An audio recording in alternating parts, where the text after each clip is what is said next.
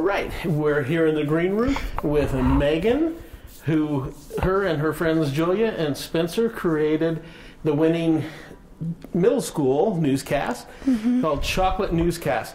Tell me a little bit about the Chocolate Newscast. Oh, um, well, we made the chocolate newscast to like talk about how the world is running out of chocolate because we're eating more chocolate than farmers can produce. So we made the newscast to talk about that.